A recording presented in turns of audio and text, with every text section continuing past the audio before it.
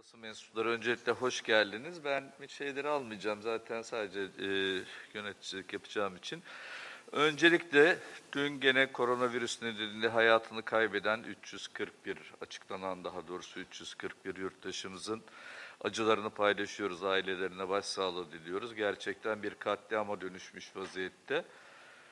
Ee, süreci hep birlikte izliyoruz. Biz onun bütünü üzerinden değil bugün ama onun çok önemli bir parçası olan özel hastanelerde bu süreçte yaşananlarla ilgili bu basın toplantısını düzenledik. Geldiğiniz için tekrar teşekkür ediyoruz. Önce İstanbul Tabip Odası Genel Sekreteri Doktor Osman Küçük Osmanoğlu görüşlerini paylaşacak. Daha sonra da yönetim kurulu üyemiz Doktor Güray Kılıç açıkladığımız metni ve raporu size tanıtacak. Buyurun. Evet, değerli basın mensupları, e, bilindiği gibi e, koronavirüs tablosu e, bir e, felaket tablosuna dönüşmüş durumda. E, yaklaşık e, bu ay başından beri e, dünyada dördüncü, Avrupa'da birinci, nüfusa oranlandığında ise dünyada birinci e, ülke konumundayız.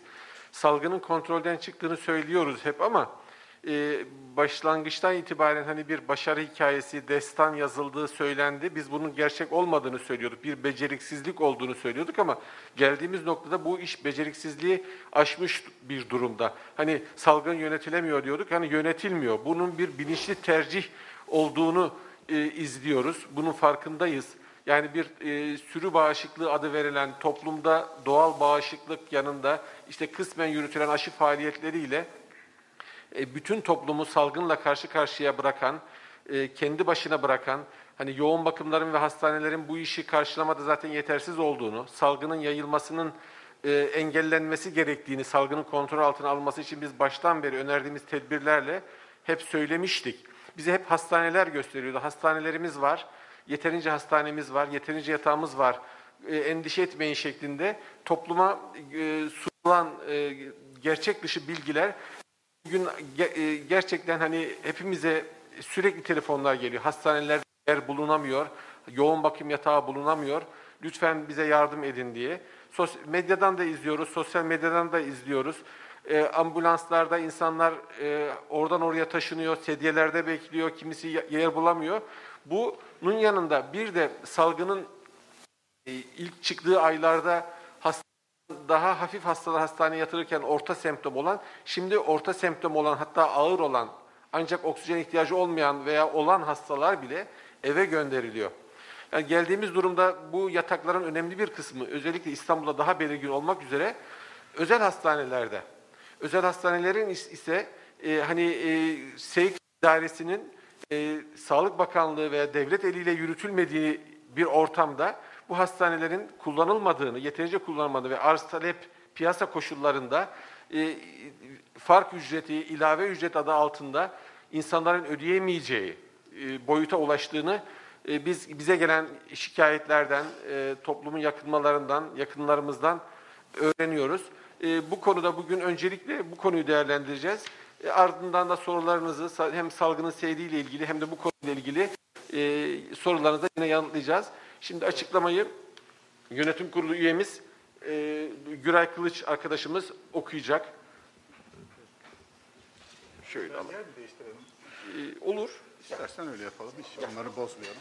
Evet evet öyle yapalım. Bu arada e, açıklamaya geçmeden zaten bir rapor olarak hazırladık. Onun e, ayrıntılı olarak Türkiye'de bu sağlık hizmetlerinin finansmanı, özel hastanelerin finansmanı, bu dönemde özel hastanede olanları raporumuzda ayrıntılı olarak görürsünüz.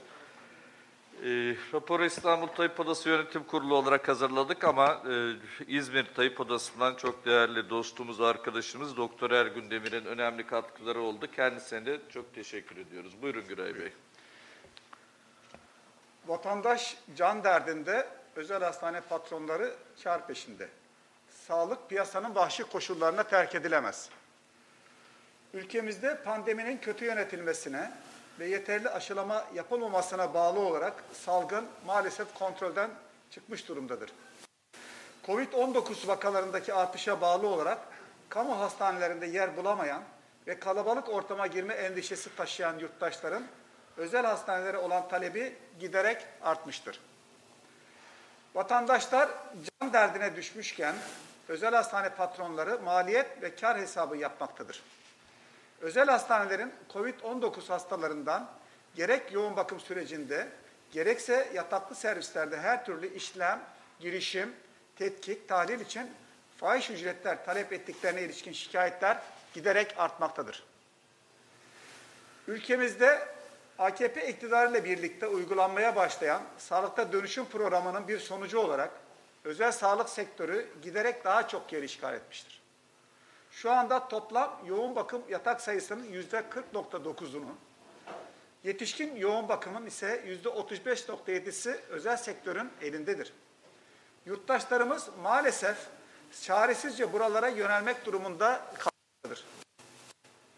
Türkiye haritasının kıpkırmızı kestiği, bütün illerin yüksek risk grubuna girdiği, pozitif vaka ve buna bağlı olarak ölüm sayılarının arttığı, yoğun bakım servislerinde yer bulunamadığı, yoğun bakımda yatması gereken birçok hastanın acillerde ve servislerde yoğun bakım yataklarının boşalması için bekletildiği bu dönemde maalesef özel hastane patronları salgını fırsata dönüştürme çabası içine girmişlerdir.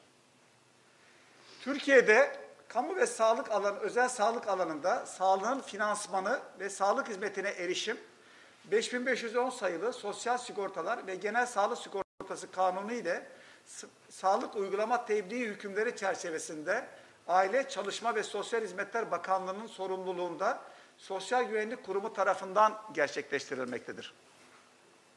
Pandeminin başlangıcından itibaren yapılan uyarılarla COVID-19 hastalarının mağdur olmaması ve suistimalleri gidermek için sağlık uygulama tebliğinde değişiklikler ve diğer mevzuat düzenlemeleri gerçekleştirilmiştir. Yapılan bu değişikliklerle ilk önce pandemi süresince yoğun bakım hizmetlerine yatak e, paket fiyatı verilmiş, yoğun bakım ücretleri arttırılarak yoğun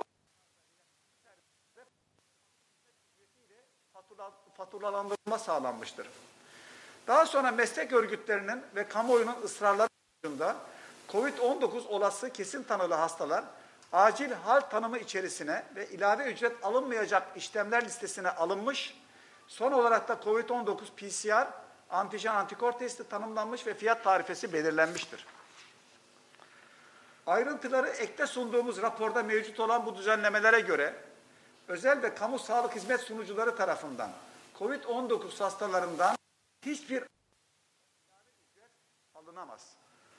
Zor durumdaki vatandaşı çaresizlik içinde yalnız başına bırakmak kabul edilemez.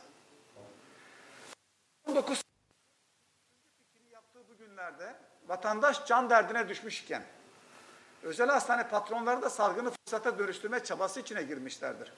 Vatandaşlardan günlük 15 bin TL'ye varan ücretler talep edildiği şikayetleri gelmektedir. Sağlık kurumlarında çalışan meslektaşlarımız ve diğer ça- çalışanları da zor durumda bırakan patronların tutumunu sadece kamuoyunun vicdanına havale etmek yeterli değildir. Mevcut yasal düzenlemelere rağmen pandemi döneminde COVID-19 hastalarından her türlü etik ve ahlaki yaklaşımı bir kenara bırakıp ölçüsüz ücret talep ederek vatandaşı mağdur eden ve yaşam hakkını tehdit eden başta metropol hastanelerinin sahibi, aynı zamanda özel hastane patronlarının örgütü olan OHSAT'ın, Özel Hastaneler ve Sağlık Kuruluşları Derneği'nin yönetim kurulu üyesi ve başkan yardımcısı olan Sağlık Bakanı Doktor Fahrettin Koca olmak üzere özel hastane patronlarına bir kez daha hatırlatıyoruz. Raporda ayrıntılı belirttiğimiz yasal düzenlemeler halen geçerli iken pandemi süresince pandemi olgularından ilave ücret alınamaz. Özellikle pandemi döneminde sağlık piyasanın vahşi koşullarına terk edilemez. Sosyal Güvenlik Kurumu'nun bu konudaki suistimaller, suistimallerle mücadele etmek için özel hastanelere yönelik denetim çalışmaları yapmadığı, aksine göz yumduğu anlaşılmaktadır. Kurumun yapması gereken SUT hükümlerine uymayan, pandemi süresince COVID-19 hastalarından tanı, tedavi ve hastaneye yatış sürecinde informal ücret alan hastaneleri tespit etmek ve sağlık hizmeti satın alım sözleşmesi protokolünü iptal etmek ve cezai işlem uygulamaktır. Özel hastane patronları salgını fırsata çevirmekten vazgeçmeli, ısrar eden hastaneler ise kamulaştırılmalıdır. Yurttaşlarımızı bu türden uygulamalara karşı tepki vermeye ve haklarını aramaya, Sosyal Güvenlik Kurumu'nun yasal düzenlemelere aykırı olarak COVID-19 hastalarından ücret talep eden hastaneleri denetlemeye ve cezalandırmaya, Sağlık Bakanlığı ve diğer kamu otoritelerini ihlallere ısrarla devam eden hastaneleri kamulaştırmaya çağırıyoruz. İstanbul Tabip Odası Yönetim Kurulu.